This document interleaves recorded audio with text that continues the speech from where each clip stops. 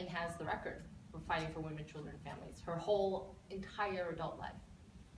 You know, a, lot of people don't realize, like, from even before she was First Lady of Arkansas, she has been devoted to public service. Uh, when she graduated from Yale Law School, she could have chosen a, a very comfortable, um, easier path, but she ended up devoting to fight for children um, at the Children's Defense Fund in South Carolina. And then, you know, I think there's always a theme here, always fighting, fighting for women's rights. Over 20 years ago, um, at the UN, she said something controversial at the time, but she said, I need to stand up, I need to do this now. And she said, human rights are women's rights, and women's rights are human rights, once and for all. And imagine we're still fighting for women's equality and uh, equal pay for equal work.